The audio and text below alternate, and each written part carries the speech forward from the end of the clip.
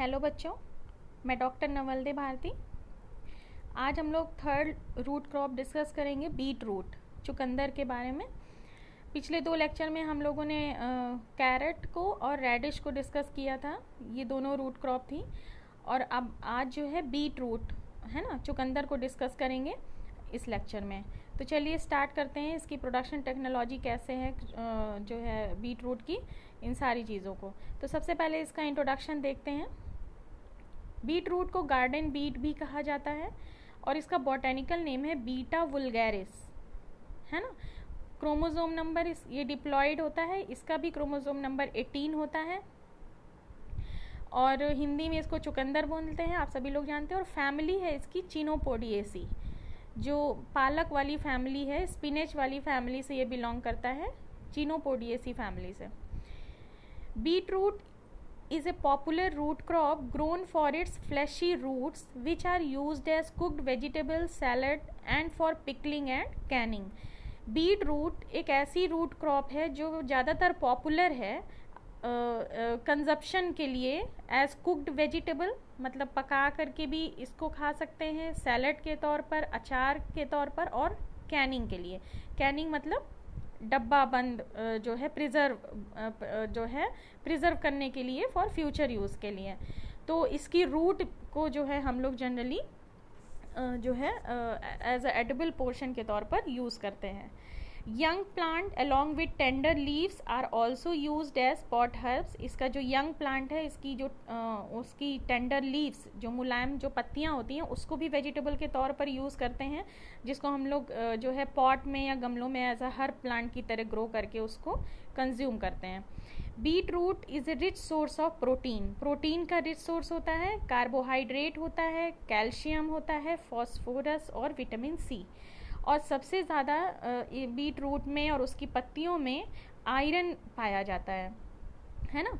Iron जो है इसका रिच सोर्स होता है बीट रूट कहते हैं कि अगर आप किसी को एनीमिया की जैसे प्रॉब्लम होती है तो जनरली डॉक्टर जो है रिकमेंड करता है, वैसे तो अनार वगैरह को रिकमेंड करता है, लेकिन बीट रूट के लिए ऐसा माना जाता है कि बीट रूट में आयरन होने की वजह से बीट रूट हीमोग्लोबिन की सिंथेसिस को बढ़ा देता है हमारे ब्लड में, है ना? तो एनीमिया की प्रॉब्लम से जल मतलब जो है, या हीमोग्लोबिन का लेवल अब बढ़ाना है तो चुकंदर खाते रहना चाहिए बीट रूट या इसका जूस जो है वो खाते रहना चाहिए। विटामिन ए इसमें पाया जाता है थाइमिन पाया जाता है, यानी विटामिन बी टू और एस्कॉर्बिक एसिड, विटामिन सी तो ये इस तरह से ये जो है विटामिन और मिनरल्स का इसमें मिनरल्स का ये रिच सोर्स होता है और साथ ही फाइब्रस तो ये है ही, रफेज प्रोवाइड करता है, यानी ये डाइजेस्टिव सिस्टम को जो है स्ट्रॉन्ग बनाता है, कॉन्स्टिपेशन को प्रिवेंट करता है। तो ये जो है बीट रूट की इतनी, इस तरह से इसकी इम्पोर्टेंस है।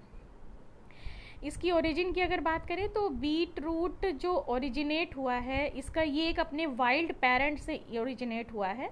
वो है बीटा वुलगैरिस स्पेशीज मैरिटिमा या बीटा मेरिटिमा भी कह सकते हैं, जो कि हाइब्रिडाइज हुआ था बीटा पेटुला के साथ। ये दोनों वाइल्ड स्पेशीज़ हैं और इन दोनों के हाइब्रिडाइजेशन से बीटा वुलगैरिस स्पेशीज़ जो आज की कल्टिवेटेड जो बीट रूट है, वो जो है इससे इवॉल्व हुई है। और इसका ओरिज सेंटर ऑफ़ ओरिजिन जो क्षेत्र है इसका उद्भव का, वो है यूरोप। है ना? तो इसका जो अर्लियर जो वाइल्ड स्पेशीज थी उसमें जो रूट है, वो राउंड शेप की ना होकर के कैरेट जैसी लंबी रूट्स आती थी वाइल्ड स्पेशीज में बीटा वुलगैरिस मेरिटिमा में या बीटा पेटुला में, है ना? और जो कल्टीवेटेड बीट रूट है चुकंदर है, इसमें जो रूट का साइ रूट का जो शेप है वो राउंड शेप का है।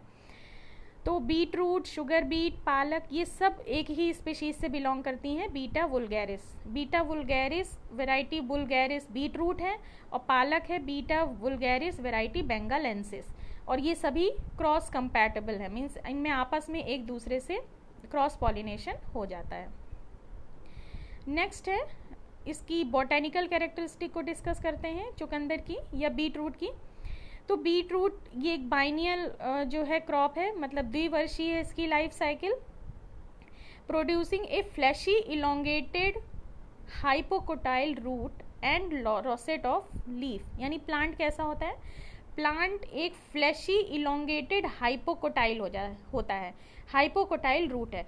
यानी इस प्लांट की जो टैप रूट है वो और हाइपोकोटाइल वाला रीजन दोनों में फ़ूड स्टोर हो करके इलोंगेट हो जाता है और फ्लैशी हो जाता है। जब फ्लैशी मतलब कि जिसमें फ़ूड और वाटर स्टोर हो गया हो है ना? जो है, उस पोर्शन को हम फ्लैशी बोलते हैं। तो प्लांट कैसा होता है कि इसकी हाइपोकोटाइल और रूट में फ़ूड स्टोर हो जाता है, जिससे कि वो फ्लैशी और इलोंगेटेड हो जाती है, और अंडरग्राउंड पोर्शन पर। और एबव द ग्राउंड पोर्शन में, यानी ज़मीन के ऊपर ए रोसेट ऑफ़ लीव्स पत्तियों का जो है एक जो है एक एक पत्तियाँ जो है रोसेट फॉर्म में वो अरेंज रहती हैं, और ये इतनी ग्रोथ फ़र्स्ट ईयर में होती है। यानी रूट का डेवलपमेंट और पत्तियों का डेवलपमेंट फ़र्स्ट ईयर में होता है, यानी vegetative growth during the first year और दूसरे साल में जो है रिप्रोडक्टिव ये ग्रोथ करता है, यानी दूसरे साल में फ्लावरिंग स्टेज में जाता है। तो इसलिए ये पूरी तरह से जो है द्विवर्षीय है है ना? द्विवर्षीय जो है वेजिटेबल क्रॉप है। सेकेंड पॉइंट में under upper portion of fleshy root develop from hypocotyl and basal part form from tap root देखिए, जो एडिबल पोर्शन है चुकंदर में, वो है इसकी जड़, ठीक है?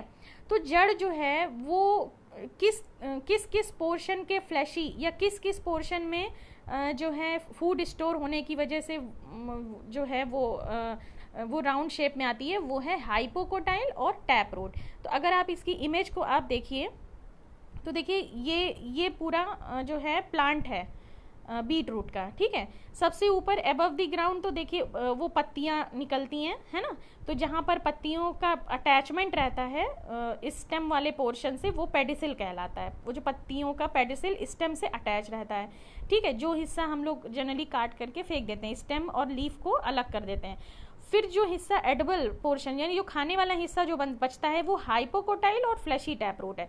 यानी जो इसकी बीज जब जर्मिनेट हुआ रहा होगा तो जो रेडिकल वाला पोर्शन था, वो नीचे का हाफ़ पोर्शन है, जहाँ पे लिखा हुआ है फ्लैशी टैप रूट है ना? और रेडिकल और कॉटिलिडन के बीच वाला जो पोर्शन होता है, वो हाइपोकोटाइल कहलाता है और उसमें भी देखिए फ़ूड स्टोर हो गया। तो इन दोनों में फ़ूड स्टोर हो जाता है और लगभग बाहर से स्ट्रक्चर में दोनों में कोई डिफरेंस आपको देखने में नहीं मिलेगा। पर ये जो फ़ूड स्टोर है, ये सिर्फ़ रूट में ना होकर के हाइपोकोटाइल वाले रीजन में और रूट दोनों ही रीजन में जो है ये फ़ूड इसमें स्टोर होता है और इसीलिए इसमें एडिबल पोर्शन जो होता है, वो कहलाता है hypocotyl as well as fleshy tap root, जैसे कि हम लोगों ने कैरेट में देखा था और रेडिश में देखा था। रेडिश और कैरेट और बीट रूट या फिर टर्निप सलजम इन चारों ही रूट वेजिटेबल में हाइपोकोटाइल और फ्लैशी टैप रूट दोनों ही फ़ूड स्टोरिंग ऑर्गेन है और दोनों ही एडिबल पोर्शन है। ठीक है? तो इस बात को थोड़ा सा आप लोग ध्यान रखिएगा। उसके बाद क्या कह रहा है कि concentric rings seen across the section of roots are as a result of alternate formation of vascular tissue and storage parenchyma tissue जब आप चुकंदर काटते हैं बीच से उसको कट करिए तो आप उसमें बहुत सारे गोल गोल से सर्कल्स आपको दिखाई देंगे, छल्ले दिखाई देंगे रिंग टाइप का पोर्शन दिखाई देगा अलग अलग कलर की। कहीं डार्क कलर तो कहीं लाइट कलर ये जो है वेस्कुलर टिश्यूज़ का फॉर्मेशन की वजह से जो है ये अलग अलग कलर है। मीन्स एक लेयर फ्लोएम की होगी ओल्डर फ्लोएम की होगी, फिर एक लेयर जो है सेकेंडरी फ्लोएम की होगी, फिर टर्शरी फ्लोएम की होगी है ना? इस तरह से कई सारी लेयर उसी तरह इनर वाले पार्ट में जो है प्राइमरी जाइलम और सेकेंडरी जाइलम टर्शरी जाइलम इस तरह से तो ये अल्टरनेट जो वेस्कुलर टिश्यूज़ की जो लेयर होती है, वो जो है दिखती है, जो कि अलग अलग कलर में होती है। और साथ ही स्टोरेज पेरेंकाइमा की सेल्स भी होती हैं। तो इस वजह से आप जब चुकंदर बीज से काटते हैं तो उसमें सर्कल्स में बहुत सारी रिंग्स आपको देखने को मिलती है, जो बताती है कि इतनी, इतने फेजेस में ग्रोथ हुई है और इतने फेजेस में सेल डिवाइड हो करके इतना जो है, इतना बड़ा रूट जो है वो डेवलप हुआ है। उसके बाद root skin colour varies from orange red to dark purple red यानी जो रूट का कलर है या चुकंदर है, इसका जो कलर है, ये कई रेंज में है। ऑरेंज रेड से लेके डार्क पर्पल रेड जो है, इतने तरह के कलर इनके बीच के मतलब कलर रेंज में आपको ये मिलेगा। और जो ये जो कलर है, ये बीट रूट में, ये mainly because of the pigment betacyanin जो रेड और वॉयलेट यानी पर्पल कलर का जो पिगमेंट है, वो बीटा साइनिन की वजह से है, और जो येलोइश पिगमेंट है उसमें, वो है बीटा जेंथिन की वजह से।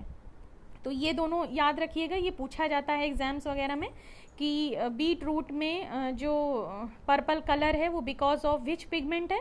तो आप बताइए कि betacyanin and purple colour because of betacyanin और yellow colour because of betaxanthin देखिए, कहीं भी रेड या पर्पल कलर होगा ऑब्वियस सी बात है, वहाँ एंथोसाइनिन होगा या लाइकोपिन होगा।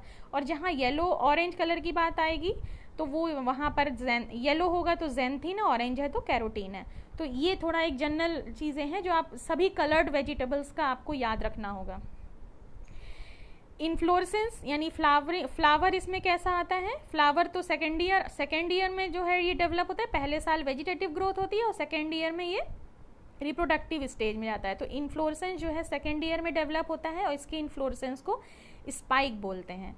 ये बात ध्यान रखिएगा, जैसे कैरेट में अम्बेल बोलते हैं रेडिश में जो है रेसिमोस बोलते हैं और बीट रूट में स्पाइक बोलते हैं। तो ये ये भी चीज़ें आपको याद रखनी है। ये सब बॉटेनिकल कैरेक्टरिस्टिक हैं, जिसमें कि, और स्पाइक में क्या होता है? And bears numerous sessile flower बहुत सारे सेसाइल फ्लावर्स होते हैं। सेसाइल फ्लावर का मतलब जब फ्लावर में स्टेम ना हो मतलब एंड्रोशियम गाइनोशियम कैलिक्स करोला तो हो लेकिन जो एक डंठल नीचे होती है, पेडिसिल जो नीचे होती है फ्लावर की, जो कि जहाँ से फूल स्टेम से अटैच रहता है, वो पेडिसिल ना हो।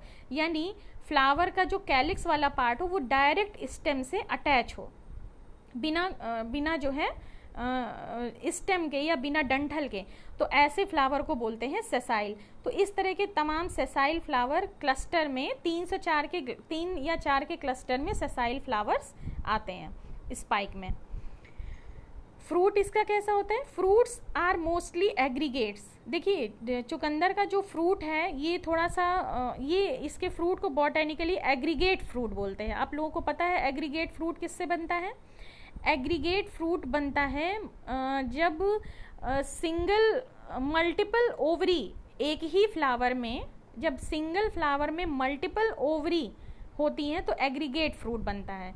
क्योंकि है ना तो होता क्या है कि फ्रूट तो एक ही रहता है, पर उसमें सीड बहुत सारे रहते हैं और सभी एक दूसरे से जुड़े रहते हैं।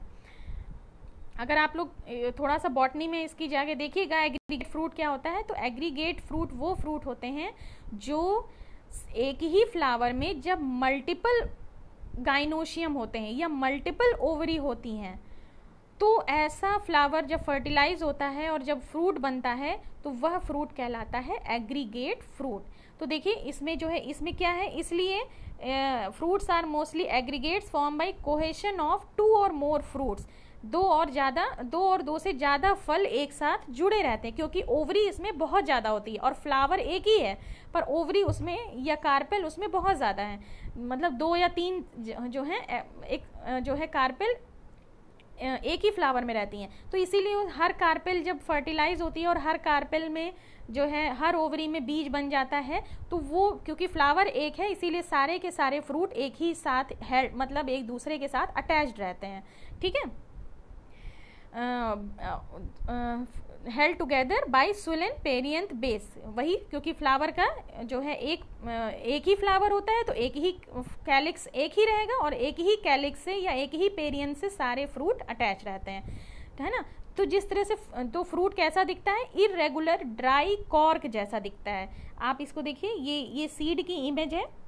आप देखिए ध्यान से कि सीड स्मूथ नहीं है। सीड जो है इरेगुलर शेप का है स्मूथ सरफेस नहीं है, क्यों? और इस सीड में कई सारे फ्रूट हैं। कई सारे फ्रूट का ये एग्रीगेट है। तो ये जो चुकंदर का बीज जिसको हम लोग बोलते हैं एक्चुअली वो उसका बीज नहीं है, वो ग्रुप ऑफ़ फ्रूट है, या एग्रीगेट हम कह सकते हैं, या इसके लिए एक टर्म दिया गया है, वो है सीड बॉल ठीक है? तो ये बात याद रखिएगा कि बीट रूट के सीड को सीड ना कह के सीड बॉल कहा जाता है। और ये सीड बॉल है क्या? सीड बॉल एक irregular dry cork like fruit जो है ग्रुप ऑफ़ फ्रूट है। है ना, जिसको कि एग्रीगेट बोलते हैं। ठीक है? उसके बाद नेक्स्ट है वेराइटीज़ को डिस्कस करते हैं। तो बहुत सारी जो है एक्जोटिक वेराइटी और बहुत सारी वेराइटीज़ इंडियन वेराइटीज़ भी है जो बीट रूट में, जो है ब्रीड की गई है।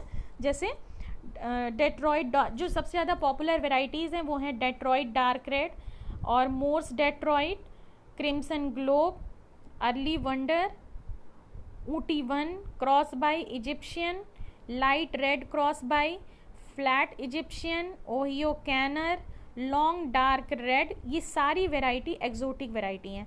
और कुछ प्राइवेट कंपनीज़ ने भी जो है वैरायटी रिलीज़ की हैं, जैसे मधुर और रूबी क्वीन, रूबी रेड। तो ये सब जो है पॉपुलर वैरायटी हैं बीट रूट की, जिनका हम यहाँ पर इंडिया में इसका कल्टीवेशन किया जाता है। अब चलिए देखते हैं इससे कल्टीवेशन के लिए कैसी सॉइल और क्लाइमेटिक रिक्वायरमेंट है। तो इसकी सॉइल और क्लाइमेटिक रिक्वायरमेंट एग्जैक्ट वैसी ही है, जैसी कि कैरेट और रेडिश की थी। ये भी एक अंडरग्राउंड वेजिटेबल क्रॉप है अंडरग्राउंड वेजिटेबल रूट क्रॉप है। ठीक है? तो इसको भी बिल्कुल वैसा ही क्लाइमेट और सॉइल चाहिए, जैसा कि कैरेट और रेडिश के लिए हमने पढ़ा था। जितनी भी रूट क्रॉप है, उन सभी की क्लाइमेटिक और सॉइल कंडीशन सेम है, इस बात को याद रखिएगा। ठीक है? फिर भी एक बार डिस्कस कर लेते हैं। क्लाइमेट की बात की जाए तो beetroot is a hardy to low temperature यानी ये लो टेम्परेचर को टॉलरेट कर लेता है और ये भी prefer and prefer cool climate इसको भी जो है कूल cool क्लाइमेट जो है सुटेबल रहता है। हाई टेम्परेचर इसके लिए सुटेबल नहीं है। हाई टेम्परेचर होगा तो क्या होगा? रूट में जोनिंग की प्रॉब्लम मिलेगी। High temperature causes zoning zoning मतलब अलग अलग कलर्स की अल्टरनेट सर्कल्स बन जाती हैं। अलग अलग जोन बन जाते हैं रूट पर। अगर हाई टेम्परेचर होगा तो एंथोसाइनिन का एक्यूमुलेशन कहीं ज़्यादा, कहीं कम, और इस तरह से एक अलग अलग रिंग आपको रूट में देखने को मिलेगी। तो वो पहचान होती है जब कलर डिफरेंस बहुत ज़्यादा हो रिंग्स के बीच में तो समझ जाइए कि बहुत ज़्यादा हाई टेम्परेचर का एक्सपोजर हुआ है। इसीलिए कहीं पर एक्यूमुलेशन एंथोसाइनिन का ज़्यादा है तो कहीं पर कम है। और एक्सट्रीम लो टेम्परेचर का भी निगेटिव इम्पैक्ट पड़ता है। बहुत ज़्यादा लो टेम्परेचर होगा तो क्या होगा कि प्लांट जो है प्री मैच्योर फ्लावरिंग में चला जाएगा। प्री मैच्योर फ्लावरिंग मतलब बोल्टिंग बोल्टिंग एक तरह का फिजियोलॉजिकल डिसऑर्डर है, जिसको बोलते हैं बोल्टिंग को, की डेफिनेशन है प्री मैच्योर फ्लावरिंग देखिए फ्लावरिंग तो एक नॉर्मल कंडीशन है, ये ये अच्छी चीज़ है, हर फ़सल में होनी चाहिए, लेकिन जब फ़सल की मैच्योरिटी से पहले ही उसमें फूल आ जाए फ़सल के मैच्योर होने से पहले ही उसमें फूल आ जाए तो वो कहलाता है बोल्टिंग। यानी अभी फ़सल मैच्योर नहीं है और उसमें फूल आ जाना, ये डिज़ायरेबल करेक्टर नहीं है। तो इसे बोलते हैं बोल्टिंग। और ये बोल्टिंग सिर्फ़ चुकंदर में नहीं होती। ये प्याज में भी आपने देखा होगा, जब आप प्याज बोते हैं, वो भी प्याज भी लाइफ साइकिल उसकी द्विवर्षीय है। लेकिन आप देखिए कि पहले ही साल में कभी कभी प्याज में फूल आ जाता है, खेत में लगे लगे तो वो भी प्री मेच्योर बोल्टिंग है, वो भी डिसऑर्डर है। उसी तरह कैबेज में मतलब पत्ता गोभी, फूल गोभी, इसमें भी देखिए, ये भी द्विवर्षीय होती हैं। लेकिन कभी कभी इनमें भी जो है, उसी साल जो है, फ्लावरिंग हो जाती है। इसे भी प्री मेच्योर बोल्टिंग कहते हैं। उसी तरह रेडिश में भी बोल्टिंग होती है। रेडिश भी जो यूरोपियन टाइप की या एशियाटिक टाइप की जो रेडिश बाइनियल है है ना? तो इसमें भी कभी कभी जो है प्री मेच्योर बोल्टिंग हो जाती है। ये सब टेम्परेचर की वजह से होता है। इन इन जितनी भी क्रॉप्स में बोल्टिंग की प्रॉब्लम पाई जाती है because of the low temperature या फ्लक्चुएशन इन टेम्परेचर या फ्लक्चुएशन टेम्परेचर मतलब समझिए कभी हाई हो गया, दो हफ़्ते भर ठंडी बहुत पड़ी, फिर दो दिन खूब गर्मी पड़ने लगी टेम्परेचर फिर अप हो गया, फिर लो तो जब इस तरह ठंडियों में एक सिरे का टेम्परेचर नहीं रहता, कभी ठंडा, कभी ज़्यादा आप देखते हो, है ना? तो उस लिए पौधे को जो है, ये जो टेम्परेचर का फ्लक्चुएशन झेलना पड़ता है तो इसलिए पौधा तुरंत जो है प्री मेच्योर बोल्टिंग में चला जाता है। प्री मेच्योर मतलब पूरी तरह मेच्योर भी नहीं होने पाता और तुरंत वो फ्लावरिंग स्टेज में एंटर कर जाता है। तो ये जो बोल्टिंग की प्रॉब्लम है, ये रेडिश कैरेट और बीट रूट और इसी तरह टर्निप यानी सलजम इन सब के साथ ही प्रॉब्लम पाई जाती है और साथ ही साथ अनियन में भी पाई जाती है और आपकी कोल क्रॉप में यानी कैबेज वगैरह में इनमें भी बोल्टिंग पाई जाती है। तो ये बोल्टिंग के बारे में अगर एक शॉर्ट नोट लिखने के लिए आए तो इसको आप लोग थोड़ा अच्छे से पढ़ लीजिएगा कि ये होती क्या है और किन किन फ़सलों में पाई जाती है। फिर नेक्स्ट पॉइंट है it requires abundant sunshine for development of storage root यानी जो है रूट अच्छे से डेवलप करे, ज़्यादा फ़ूड स्टोर हो, इसलिए प्रॉपर सनलाइट की अवेलेबिलिटी बीट रूट के लिए ज़रूरी है। तो ये जनरली बीट रूट की क्लाइमेटिक कंडीशन है। अब चलिए सॉइल कंडीशन जो है कैसी चाहिए बीट रूट को?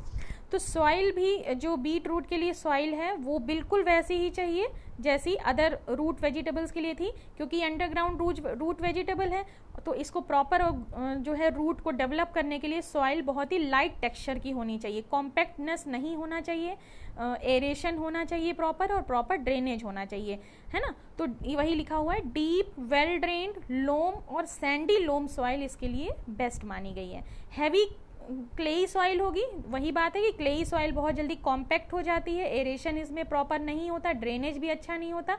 तो हैवी क्लेई सॉइल में एक तो सीड पुअर जर्मिनेशन होता है, दूसरा रूट्स में भी मिस शेप्ड रूट का शेप जो है टेढ़ा मेढ़ा हो जाता है। आप देखते होंगे बहुत सारे चुकंदर कहीं एकदम पूरी तरह से राउंड शेप में नहीं रहता, कहीं पर जो है राउंड रहता हो तो कहीं पर एकदम अंदर धंसा हुआ रहता है है ना? पूरी तरह से राउंड नहीं रहता। तो ये पता चलता है कि ये जो मिस शेप्ड जो है रूट है, ये जो है हैवी सॉइल में इसका कल्टीवेशन किया गया है है ना? साथ ही साथ it is highly sensitive to soil acidity को भी लेके सेंसिटिव है तो इसके लिए बहुत एसिडिक सॉइल नहीं होनी चाहिए। सॉइल का पीएच सिक्स टू सेवन के रेंज में होना चाहिए। बहुत ज़्यादा एसिडिक होगा तो जो है वो टॉलरेट नहीं कर पाएगी। लेकिन हाँ बीट रूट एक ऐसी फ़सल है जो कि सेलाइन सॉइल को टॉलरेट कर लेती है। बहुत बारी पूछा जाता है कि कौन कौन सी वेजिटेबल हैं जो सेलिनिटी को टॉलरेट कर सकती हैं। यानी सॉइल सेलिनिटी को टॉलरेट कर सकती हैं। तो दो वेजिटेबल्स दो तीन वेजिटेबल्स हैं। उनमें है एक पालक और दूसरा है आपका भिंडी लेडी फिंगर ओकरा और तीसरा है आपका ये बीट रूट तो ये कुछ ऐसी सब्ज़ियाँ हैं, कुछ गिनी चुनी सब्ज़ियाँ ही हैं जो जो है सेलाइन सॉइल के लिए बहुत सूटेबल है। तो यानी वो ऐसी ज़मीन जहाँ पर सेलिनिटी की प्रॉब्लम है तो ऐसा नहीं है। आप भिंडी और बीट रूट और जो है, पालक जैसी सब्जियों का कल्टीवेशन कर सकते हैं लीफी वेजिटेबल का। ठीक है? नेक्स्ट है मेथड ऑफ़ सोइंग बोआई का तरीका क्या है? मेथड ऑफ़ सोइंग ये कूल सीज़न क्रॉप है तो इसको ऑब्वियस सी बात है, तभी हम सोइंग इसकी करेंगे जब टेम्परेचर लो होगा। तो हिल्स में जो है, इसको जो हम, या पहले प्लेन की बात कर लेते हैं तो प्लेन रीजन में, जैसे मैदानी इलाकों में, जैसे नॉर्थ इंडिया उत्तर भारत का जो मैदानी भाग है, यहाँ पे विंटर सीज़न सूटेबल है। यानी सितंबर अक्टूबर नवंबर तक इसकी बुआई हो जाती है। है ना? और इसी साउथ की अगर बात करें तो वहाँ तो ईयर राउंड कर सकते हैं, वही है क्योंकि वहाँ पे टेम्परेचर ईयर राउंड जो है ना बहुत ज़्यादा एक्सट्रीमली हाई जाता है, ना बहुत ज़्यादा एक्सट्रीमली लो टेम्परेचर जाता है। मीन्स जितना टेम्परेचर इसको चाहिए between fifteen to twenty five के आसपास, वो हमेशा साल भर बना रहता है। तो साउथ में हम इसको साल भर कल्टिवेशन करते हैं। नॉर्थ इंडिया के प्लेन में, मैदानी भाग में हम सितंबर, अक्टूबर, नवंबर तक बुआई करते हैं। और पहाड़ी रीजन पे, यानी भारत के जो पहाड़ी इलाके हैं, वहाँ पर हम इसको स्प्रिंग समर क्रॉप की तरह इसका कल्टीवेशन करते हैं। यानी स्प्रिंग या समर सीज़न में इसको कल्टीवेट करते हैं। यानी मार्च, अप्रैल में इसकी बुआई करते हैं, क्योंकि विंटर्स में वहाँ पर बहुत ज़्यादा ठंड पड़ती है टेम्परेचर बहुत ज़्यादा लो हो जाता है तो वहाँ पर बोल्टिंग की प्रॉब्लम होती है और रूट डेवलपमेंट अच्छे से नहीं होता तो वहाँ पर मार्च, अप्रैल में बुआई करते हैं हम। और करेंगे कैसे? सब उसी तरह से आप अपने जो लैंड है, उसको प्रॉपरली उसकी जोताई कर लीजिए, निराई कर लीजिए, गुड़ाई कर लीजिए, उसमें जो भी खरपतवार हैं और वो सभी वीड्स वगैरह हैं या स्टबल्स वगैरह हैं, उसको रिमूव करके सॉइल को अच्छे से लेवल कर लीजिए। उसके बाद सॉइल को अलग अलग छोटी क्यारियों में डिवाइड कर लीजिए, है ना? प्लॉट्स में, जिससे कि आपको इरिगेशन करने में आसानी रहे। अपनी इरिगेशन को ध्यान में रख करके उसको छोटे सब प्लॉट्स में डिवाइड कर लीजिए। और हाँ फ़ील्ड प्रिपरेशन के समय ही जो है एफ़ उसमें फ़ील्ड में इनकॉर्पोरेट कर दीजिए। फ़ील्ड के साथ ही एफ़ की भी उसमें मिक्स करके प्रॉपरली उसको लेवल कर दीजिए। फिर आप चाहे फ्लैट बेड में भी सोइंग कर सकते हैं फ्लैट में भी और रिज बना के रिज और फरो बना के भी, दोनों तरह से। ये वही वही बात है कि अगर आपकी सॉइल जो है थोड़ा क्लेई है मतलब लाइट हैवी है थोड़ी सी तो आप रिज और फरो बना करके कल्टीवेशन करिए, वो ज़्यादा सूटेबल रहेगा। और अगर लाइट सॉइल है सैंडी है तो आप रिज फरो भी कर सकते हैं और फ्लैट बेड में भी कल्टीवेशन कर सकते हैं। ठीक है? उसके बाद वाटर सोक जो सीड बॉल्स हैं, यानी बीज को एक एक दिन पहले आप भिगो दीजिए ओवरनाइट आप उसको वाटर सोक्ड हो जाने दीजिए, ताकि जर्मिनेशन जल्दी से हो जाए, और एक एक सीड बॉल में दो से लेके छः सीड तक होते हैं। तो इसलिए जब आप एक बीज बोते हैं तो उस जगह दो मतलब तीन, चार मतलब पाँच छः तक पौधे एक ही जगह से निकल आते हैं। ठीक है? ये जो है, क्योंकि वो जो आप बुआई करते हैं सीड वो एक फ्रूट आप पूरा बोते हैं, एक सीड सेपरेट नहीं होता, वो सीड बॉल होता है। और एक सीड बॉल में कई सारे सीड होते हैं, इसीलिए जब आप चुकंदर जहाँ पर बोते हैं, वहाँ पर बहुत सारे बीज बहुत सारे जो है प्लांट जर्मिनेट कर जाते हैं। ठीक है? बीज को जो है 2.5 सेंटीमीटर गहराई में डालना चाहिए। और कितनी दूरी पर? अगर आप रिज और फरो बना रहे हैं या फ्लैट बेड में कर रहे हैं तो रिजेस की बीज की दूरी जो होनी चाहिए, या रो टू रो दूरी होनी चाहिए 45 से 60 सेंटीमीटर और प्लांट से प्लांट की दूरी 8 से 10 सेंटीमीटर ठीक है? और एक हेक्टेयर के लिए पाँच से छः के जी सीड जो है रिक्वायर्ड होता है सफिशेंट होता है। एक हेक्टेयर में पाँच से छः किलो सीड सफिशेंट है। ये सीड रेट सभी वेजिटेबल का याद रखिएगा, बहुत बार ये सब, ये यही सारे क्वेश्चन पूछे जाते हैं कि कैरेट का सीड रेट क्या है रेडिश का सीड रेट क्या है बीट रूट का क्या है, हर वेजिटेबल का सीड रेट वगैरह आपको पता होना चाहिए, ठीक है? और साथ ही साथ स्टैगर्ड सोइंग करते हैं। ये चीज़ हम कैरेट और रेडिश वाले टॉपिक में बताना भूल गए थे। कि अगर आप ये चाहते हैं कि आपकी जो रूट क्रॉप है, चाहे वो रेडिश हो, चाहे कैरेट हो, चाहे बीट रूट हो, वो एक ही समय पर एक साथ तैयार ना हो। तो आप स्टैगर्ड प्लांटिंग करिए। मतलब हफ़्ते हफ़्ते के इंटरवल पर आप जो है प्लांटेशन करिए। मतलब अगर आप चाहते हैं कि जो है हमारी क्रॉप धीरे धीरे मैच्योर हो एक एक हफ़्ते में मैच्योर हो तो आप एक हफ़्ते पहले कुछ बीज की बुआई करिए, फिर एक से एक हफ़्ते बाद फिर थोड़े बीज की बुआई करिए, फिर एक हफ़्ते बाद करिए। तो एक एक हफ़्ते के इंटरवल पे करेंगे तो लॉन्ग ड्यूरेशन के लिए आपको मार्केट के लिए सप्लाई मिलती रहेगी। ठीक है ना? तो स्टैगर्ड जो है सोइंग भी आप कर सकते हैं और एक, अगर एक साथ आप बेच बेचना चाहते हैं या मार्केट में एक साथ सोल्ड करना चाहते हैं तो आप एक साथ भी प्लांटिंग कर सकते हैं। ये आपके ऊपर है। ठीक है? अब उसके बाद है मैन्योर फर्टिलाइज़र कितनी रिक्वायरमेंट है? तो जब आप सॉइल प्रिपरेशन कर रहे होते हैं फ़ील्ड प्रिपरेशन तो उसी समय एफ़ हम फ़ील्ड में डालते हैं तो वो करीब पचास, अरे, पच्चीस टन पर हेक्टेयर की जो है, दर से आप उसमें इनकॉर्पोरेट करेंगे। ठीक है? और साथ ही साथ एन पी के आप देखिए तो 60 टू 70 के जी नाइट्रोजन की रिक्वायरमेंट होती है और 100 टू 120 के जी फॉस्फोरस और 60 से 70 के जी पोटाश की रिक्वायरमेंट एक हेक्टेयर की फ़सल के लिए ज़रूरत होती है। तो अब इसमें से कितना अप्लाई करना है, कितना नहीं, ये आपको आपकी सॉइल टेस्टिंग के बाद पता चलेगा। बेहतर हो कि आप अपनी सॉइल की जाँच करा लें कि इसमें ऑलरेडी कितना नाइट्रोजन फॉस्फोरस और पोटाश है। फिर उस अकॉर्डिंग जितना कम हो, वो आप इनकॉर्पोरेट करिए। ठीक है? F Y M field preparation के दौरान ही डाल दिया जाता है, और फॉस्फोरस और पोटाश ये भी। लेकिन नाइट्रोजन की सिर्फ़ हाफ़ डोज दिया जाता है ड्यूरिंग द लैंड प्रिपरेशन और बाकी की डोजेज जो है टू जो है स्प्लिट डोजेज में दिया जाता है एक एक महीने के इंटरवल पे, या तीस पैंतालीस दिन के अंतर पर।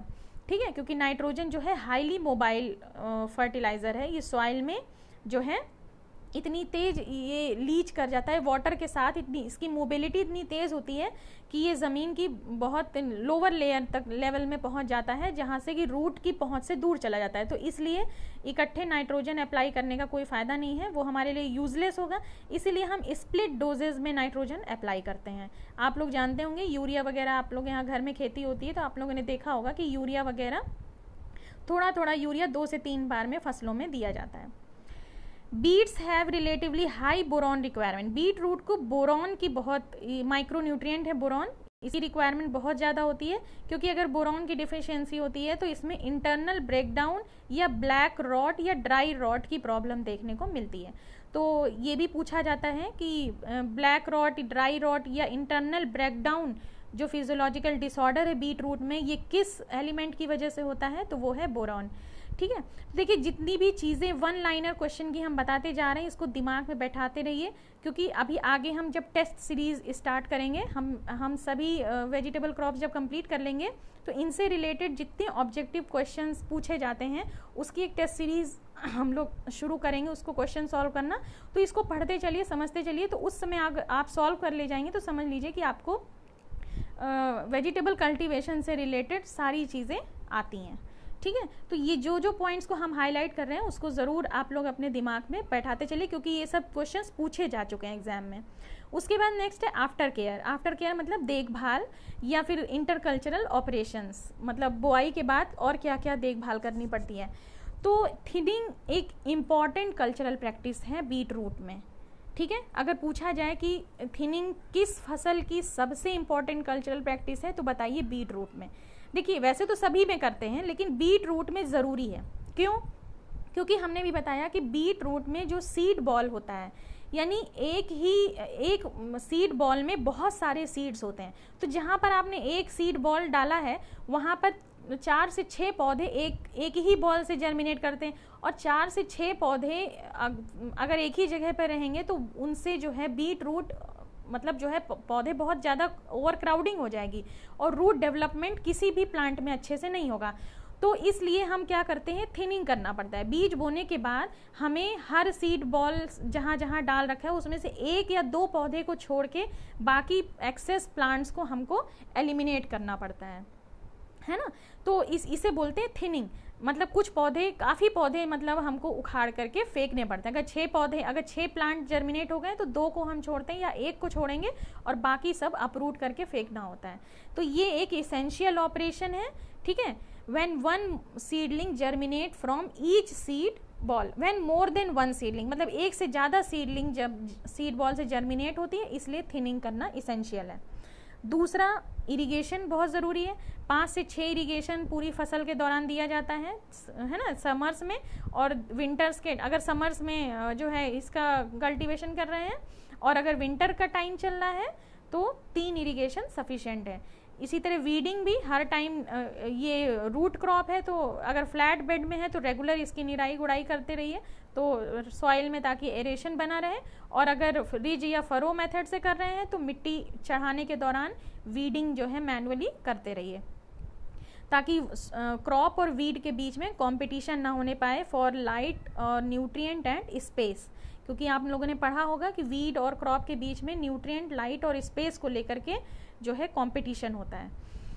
और चौथा जो है इसेंशियल कल्चरल प्रैक्टिस है, अर्दिंग अप मतलब मिट्टी चढ़ाना, वही चीज़ कि जैसे जैसे रूट डेवलप करती है तो कभी कभी ज़मीन के ऊपर डेवलप होने लगती है है ना? तो रूट को ज़मीन के ऊपर नहीं आने देना है अदरवाइज़ वो क्लोरोफिल उसमें डेवलप होने लगता है तो उसको जो है ढकना, मिट्टी से समय समय पर एक या दो बार मिट्टी की जो है चढ़ाई करनी पड़ती है तो जिसको बोलते हैं अर्दिंग अप नेक्स्ट है हार्वेस्टिंग हार्वेस्टिंग का मतलब मतलब कि फ़सल की कटाई।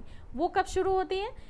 जब आपका रूट का साइज़ यहाँ ट्यूबर लिखा हुआ है सॉरी रूट होना चाहिए। आप लोग इसको करेक्शन कर लीजिएगा। Medium size root are of great demand, जो मीडियम साइज़ के रूट की डिमांड ज़्यादा है मार्केट में, and roots are harvested after attaining a diameter of three to five centimetre. जब आपकी रूट या जो चुकंदर का जो रूट है, उसका जब डायमीटर तीन से पाँच सेंटीमीटर का हो जाए तो समझ आइए कि अब ये हार्वेस्टिंग के लिए रेडी है। ठीक है ना? तो इस तरह से देखा जाए तो बुआई के आठ से दस हफ़्ते बाद, आठ से दस हफ़्ते का मतलब दो से ढाई महीने में आपकी फ़सल जो है तैयार हो जाती है है ना? बाई टाइम टाइम से अगर कैलकुलेट करेंगे तो समझ जाइए कि बुआई के ढाई महीने बाद रेडी हो जाती हैं और साइज़ से भी चेक कर सकते हैं कि जब तीन से पाँच सेंटीमीटर डायमीटर की रूट हो जाए तो समझ लीजिए हार्वेस्टिंग के लिए अब फ़सल तैयार है। हाथ से मैनुअल हार्वेस्टिंग करते हैं, ठीक है? और उसके बाद जो है उसके टॉप्स को रिमूव टॉप्स मतलब पत्तियों को उसको हटा देते हैं, फिर साइज़ के अकॉर्डिंग ग्रेडिंग कर दीजिए मतलब छोटे बीट रूट को अलग मीडियम साइज़ के अलग और लार्ज साइज़ के अलग। साइज़ के अकॉर्डिंग आप उसकी ग्रेडिंग कर दीजिए और साथ ही साथ सॉर्टिंग भी करिए मतलब अगर कोई डिज़ीज़ हो इन्फेक्टेड हो या डैमेज रूट हो तो उसको भी अलग कर दीजिए, है ना? और अच्छी क्वालिटी के रूट को कलेक्ट करके बीट रूट को और फिर उसको मार्केटिंग के लिए सोल्ड कर दीजिए। Over mature and oversized tuber है ना? जैसे कि ढाई महीने तक इसका एक करेक्ट टाइम होता है या तीस से पाँच सेंटीमीटर तक का रूट का डायमीटर हो। लेकिन ओवर मैच्योर हो जाएगा और ओवर साइज़ हो जाएगा, तब इसकी हार्वेस्टिंग सही नहीं है, क्योंकि तब रूट जो है वुडी हो जाती है। अंदर का जो रूट का सेंटर वाला पार्ट है जाइलम वाला पोर्शन है, वो हार्ड हो जाता है, इसलिए वुडी हो जाती है और क्रैक डेवलप हो जाता है। ठीक है? तो इसके मैच्योरिटी टाइम या हार्वेस्टिंग इंडेक्स इसका प्रॉपर होना चाहिए ताकि आपकी फ़सल का अच्छा दाम आपको मिल सके। उसके बाद है ईल्ड ईल्ड जो है 25 से 30 टन पर हेक्टेयर तक नॉर्मल ये रेंज देखी गई है है ना? और अगर स्टोर करना चाहते हैं तो वही है, जैसे रेडिश और कैरेट के लिए है zero degree centigrade 90 percent relative humidity में आप इसको स्टोर कर सकते हैं तीन महीने तक। तो ये ऑल अबाउट आपका बीट रूट के बारे में था, ठीक है? उसके बाद अब नेक्स्ट वीडियो में हम लोग पढ़ेंगे लेग्यूम क्रॉप के बारे में। अगर इसमें किसी तरह का कोई डाउट हो तो आप लोग क्वेश्चन ज़रूर पूछिए, ठीक है? तब तक के लिए थैंक यू